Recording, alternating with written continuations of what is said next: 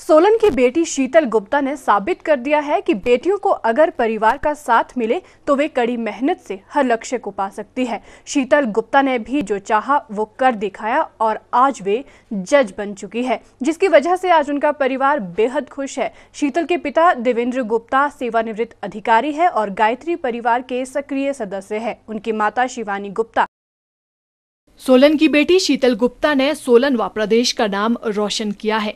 शीतल ने plus two की शिक्षा सेंट ल्यूक्स स्कूल सोलन से प्राप्त की है। आपको जानकर हैरानी होगी कि शीतल गुप्ता ने प्लस टू तक पहले नॉन मेडिकल की शिक्षा ग्रहण की। प्लस टू तक वे अपना लक्ष्य तय कर चुकी थी कि उन्होंने जज बनना है, जिसके लिए उन्होंने पंजाब यूनिवर्सिटी से नॉन मेडिकल छोड़कर बी एलएलबी की शिक्षा ग्रहण की। 2015 में शीतल ने एलएलबी की डिग्री हासिल की और लक्ष्य पाने के लिए दिन रात मेहनत की। तीन वर्षों तक उन्होंने कई परीक्षाएँ दी, लेकिन उनमें ज़्यादा सफलता हाथ नहीं लगी, लेकिन शीतल ने हार नहीं मानी। माता पिता ने भी बेटी का हौसला टूटने नहीं दिया। यही वजह रही कि चौथे वर्ष में शीतल ने दिल्ली, हरियाणा, राजस्थान और हिमाचल में जज की प्राथमिक परीक्षा पास कर ली। लेकिन शीतल हिमाचल में ही अपनी सेवाएँ देना चाहती थी। इसीलिए उन्होंने हिमाचल में ही मुख्य परीक्षा देने का मन बनाकर अपने लक्ष्य को हासिल किया है। शीतल गुप्ता के पिता देवेंद्र गुप्ता ने इस मौके पर खुशी ज़ाहिर करते हुए कहा कि वे बेहद खुश है कि उनकी बेटी ने अपना लक्ष्य हासिल कर लिया है। उन्होंने बताया कि हिमाचल में 10 में से 9 पदों पर बेटियों ने बाजी मारी है, जिससे ये साबित होता है कि बेटियों को अगर मौका दिया जाए तो वे प्रदेश और देश का नाम रोशन करने का कोई भी मौका नहीं चूकती।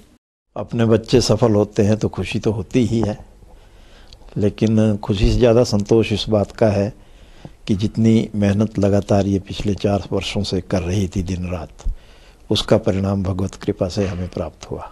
आजकल के युवकों को यही कहना चाहूँगा, मैं गायत्री परिवार का भी सक्रिय सदस्य हूँ, बच्चों को भी स्कूल और कॉलेजों में भी जाता हूँ एड्रेस करने, कि बच्चों में एक तो उत्साह की कमी, परसिस्टेंसी नहीं है, थोड़े ही दिनों में वो हिम्मत हार बैठते हैं। और शायद उसके पीछे जो उनका परवरिश है, वातावरण है माँ बाप का, वो भी कहीं इफ़ेक्ट करता हो उन्हें।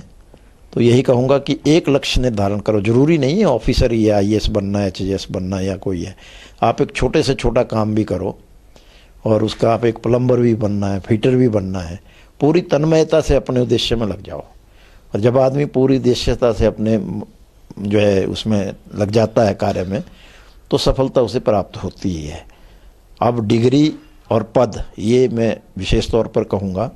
मिल जाए तो भगवान की कृपा, लेकिन नहीं तो बलकू राम बाबा जैसे लोग भी जो है बड़ो टनल को बना सकते हैं, जबकि एक इंजीनियर भी फेल हो सकता है।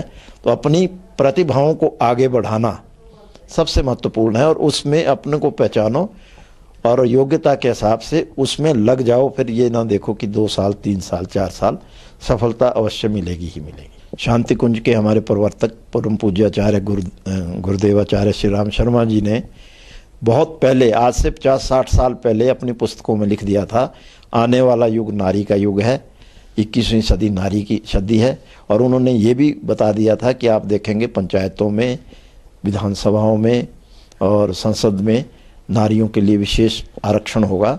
लेकिन मैं आरक्षण का तो आ, सपोर्टर नहीं हूँ पर प्रतिभा के बल पर अपनी अपनी बच्चियों को सबको आगे बढ़ाना चाहिए। भेदभाव, लिंग भेद नहीं होना चाहिए। और आज ये साबित हो गया कि दस बच्चे चयनित हुए हैं एच में। उनमें से नौ जो है, लड़कियाँ ही हैं। Bureau report, city channel, Solan.